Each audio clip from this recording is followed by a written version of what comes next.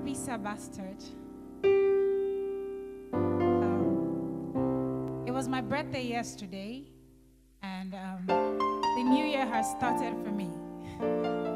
And I'm especially happy because this year was a very interesting year. But I'm, I'm grateful to be here today.